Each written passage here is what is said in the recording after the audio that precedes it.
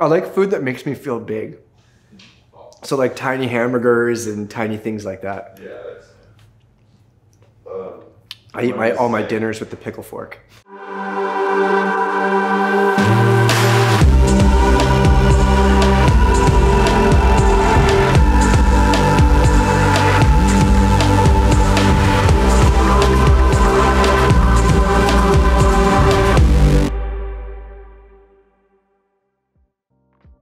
Hey everybody, I'm Mike Levy. We're back for another field test video, and this is Salsa's all new 140 millimeter travel Blackthorn 29er trail bike that they say is built for riding anywhere with confidence, which is why I'm gonna take it to Rampage.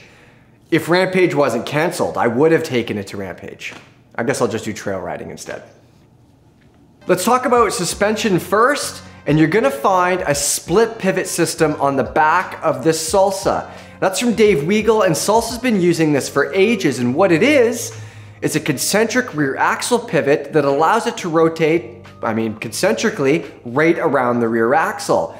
The rear shock delivers its 140 millimeters of travel via a rocker link and a clevis that wraps around the seat tube. Now there is one interesting detail on here that Salsa's doing, and it's let them use the same front and rear triangles for this bike and the longer travel Cassidy.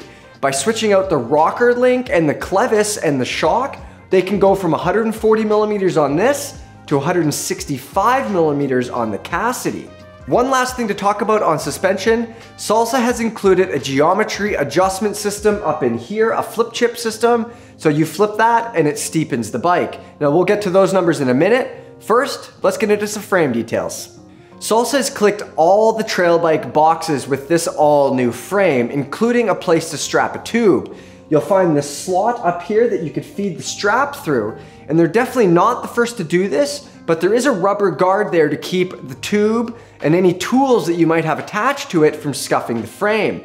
You'll also find a whole bunch of threaded holes on the top tube and on the top of the down tube for all sorts of storage and water bottle. You're also gonna get a threaded bottom bracket and a set of ISCG tabs around that bottom bracket shell. Cable routing is all internal on the carbon frames and it's passed through. So you should just be able to push it through and it comes out the other end without you having to lose your temper. Rear hub spacing, well that's Super Boost 12 by 157 and that lets Salsa run a really short 432 millimeter rear end. Those short chainstays those are aluminum on all frames. There's also some nice frame protection, including a flap in front of that main pivot to keep rocks from getting jammed in between the frame and the chainstays. Let's talk geometry now, and I'm 5'10". This is a large size Blackthorn with a roomy 490 millimeter reach. Up front, 64.6 degrees, and the seat angle, 76.5. Now those numbers are all in the low slack setting that I know you're gonna put it in and leave it in. But if you did wanna lift it up a little bit, you can steepen the head angle by a third of a degree and the bottom bracket height by four millimeters, which is about this much. And I've already mentioned those short chainstays. They're 432 millimeters across the board on all sizes. Next up, let's go over the model range. And this is the Fancy Pants most expensive Blackthorn. But you don't need to spend that much. It all starts at $3,200 American for an aluminum frame, 12-speed Deore components, RockShox suspension, and proper Maxxis tires. Unlike most brands, Salsa actually offers the aluminum frame and shock on their own for 2100 bucks. So you can build up your own aluminum Blackthorn if you didn't want to break the bank. If you want carbon fiber, frame and shock, $3,200. This very purple one, it's the top tier model that comes with an X01 drivetrain. It goes for $7,500. You're also getting factory level suspension from Fox, including that 160 millimeter travel 36 with the Grip 2 damper, four piston Code RSC brakes, and a set of carbon fiber wheels from Reynolds.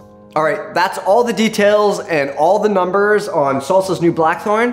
Let's talk about how this thing rides.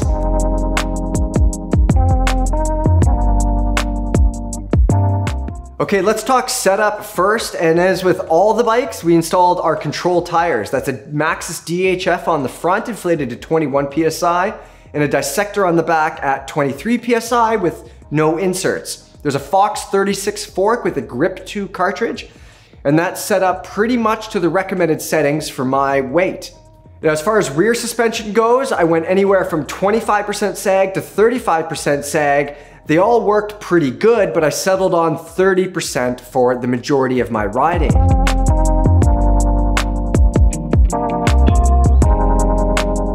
What's the story when it comes to climbing when you're on the Blackthorn?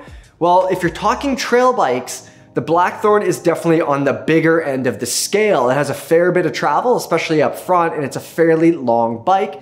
And it feels like that when you're on the trail.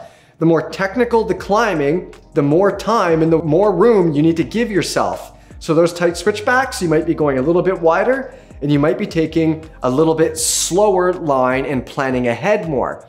It feels like there's a lot of bike ahead of that bottom bracket and not much behind it. So in the tightest sections, it can actually feel like you're pivoting on the rear end around stuff. And when you take that approach to the trail, it works quite well. You have a lot of traction and you can get up all sorts of stuff. As far as pedaling performance goes, well, that feels a bit pedestrian on the Blackthorn to be honest especially compared to bikes like that Specialized Stumpjumper and the new Giant with the live valve suspension that, well, it's almost cheating in a way. Now the bike does have a pedal assist switch, and if you're the kind of rider who likes to get out of the saddle and work hard, you're gonna wanna reach down and flick that to the closed setting so the bike doesn't move a whole lot. When you're in the saddle and just spinning, it's a reasonably calm bike, but it does feel active. There's no climb switch on that Fox fork, obviously, and that sort of defines the bike's climbing characteristics. You know, bikes like that Mojo, it uses a Fox fork that has a Fit 4 cartridge in it with a pedal assist switch. So when you're out of the saddle, you can just reach down, flick the switch, you can flick the rear shock if you want, and the bike turns into a rocket ship. On this bike, you only have that on the back, not the front. So again, all the more reason to stay seated and just spin up the climbs. So overall, not a bad climber, but it's definitely not in the sporty trail bike category. This is for somebody who isn't super concerned with getting to the top, they just want to get there.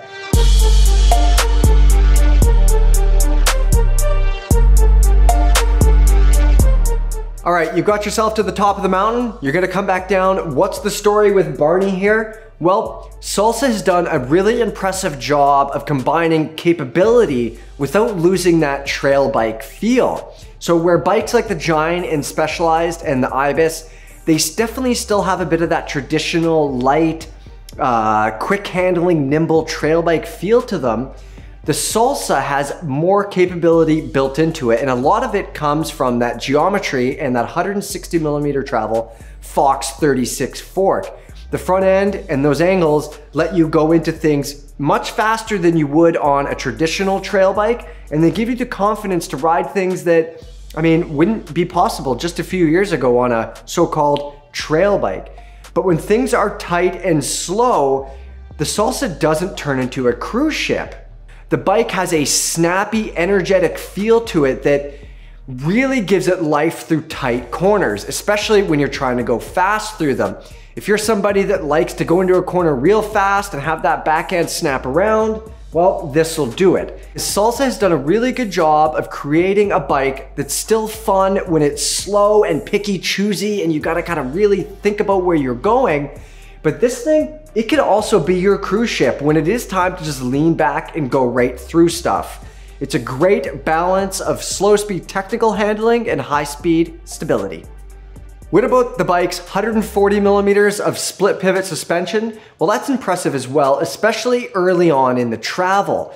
It's very, very slippery and I think that helps with traction a lot. And aside from the P-Train with its coil sprung Cane Creek shock, the back of the Salsa was definitely the most active and forgiving. So if you want something to cover ground a little quicker and maybe not feel quite as big on the trail, you can do that with the salsa. At the other end of the stroke, it's great as well. I used full travel, but nothing hard, and you have room in there to put an extra volume spacer if you're a bigger rider and you're bottoming out more often.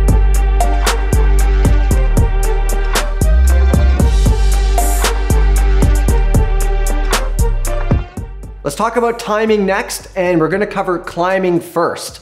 The Salsa had the fourth fastest timing climb. It was about 30 seconds behind the fastest bike. Again, that was the Giant Trance X with its live valve suspension. The climb was mixed. Half of it was smooth single track and the other half was pretty technical and pretty tight with some rock faces and it was fairly wet as well. As far as descending goes, it was third out of five, 12 seconds back from the P train, two seconds back from the Specialized Stumpjumper. Our time descent trail is representative of what I think a trail bike should be able to handle. There's definitely a few tricky, steep, rocky, and rooty sections on there, but also a whole lot of traversing and some tricky corners as well.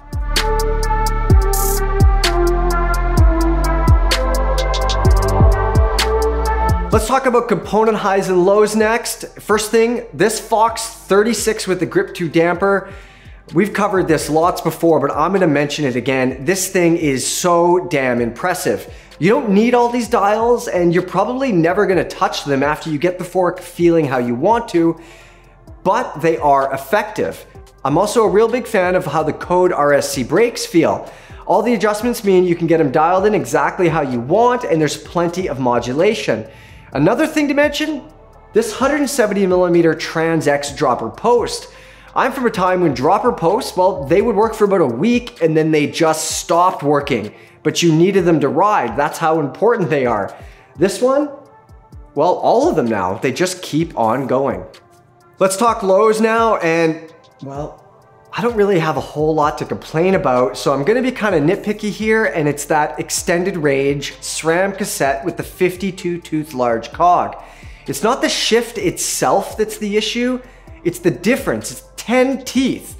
If I needed the lower ratio that the 52 tooth provides, I'd far prefer to just go to a smaller chainring. That 10 tooth jump, well, the shift is fine, there's such a difference in ratio that I feel like I go from moving to not moving as soon as I shift into it.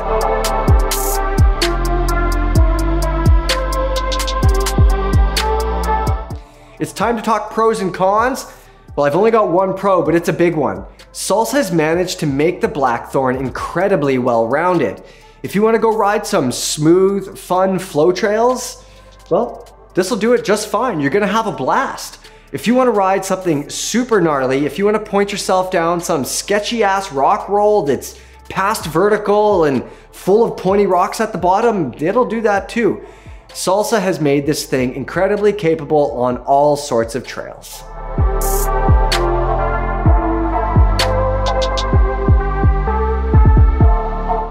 Okay, cons, and I've got two for you. The first one, well, it's kind of trivial. It's a lot of purple, isn't it? You can't get this model in any other color. And I had a ton of people ask me questions about this bike and comment that it was so purple. Even the fork decals are purple, purple everywhere. The other thing, well, it's not necessarily a con. It's a fairly large trail bike when it comes to travel. That 160 millimeter fork on the front, the 64.6 degree head angle, well, Salsa's done a crazy impressive job of making this bike fun on really easy, simple terrain. Riders should still know that this definitely isn't the kind of trail bike that you would buy to do your 50, 60, 70 kilometer rides on smooth trails.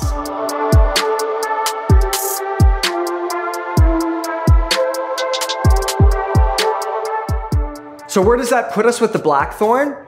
Well, most riders probably know Salsa better for their touring and curly bar bikes, but the truth is, they clearly know how to put together a killer trail bike as well. It's incredibly well rounded, but it's also extremely capable on the outer edge of what a trail bike should be used for. So that's it for the Blackthorn. Make sure to subscribe so you don't miss any upcoming field test video reviews.